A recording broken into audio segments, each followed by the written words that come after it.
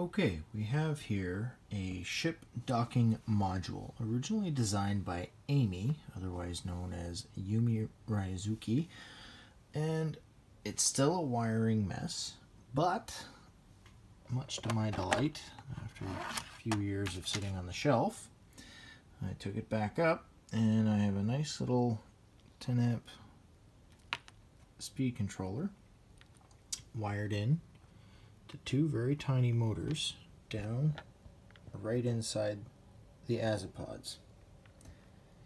Each one is controlled with a low profile servo with a gear right on the spline. And then I had to put a set screw in to hold those little pinion gears onto the vertical shafts. And we'll just turn this on. Flashing red means I've got a neutral. And this is one of the first times I've started this up, so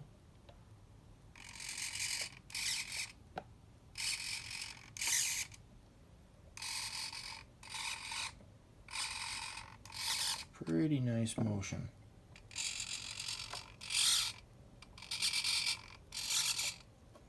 And nice clean motor sound.